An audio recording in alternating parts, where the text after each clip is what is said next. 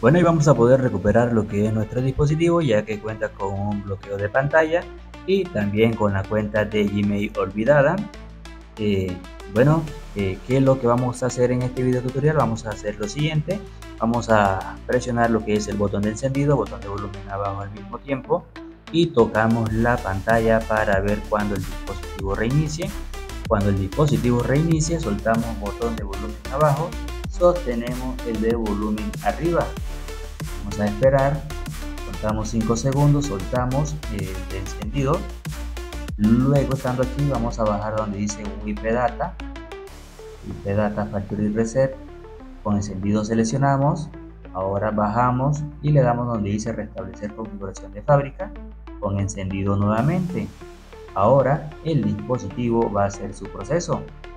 Bueno, va a restablecer todo por completo, todo el dispositivo. Luego la primera opción donde dice Reboot System Now, vamos a darle con encendido para que el dispositivo se reinicie.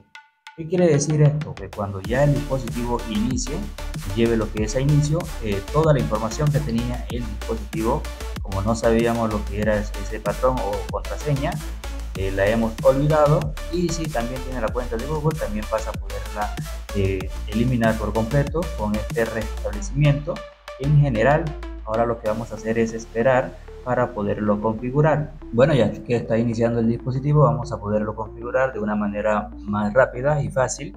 Vamos a irnos lo que es a inicio. Nos vamos a inicio nos vamos le damos a aceptar eh, si tiene alguna SIM card introducida en el dispositivo es recomendable retirarla. Le damos ahora en omitir.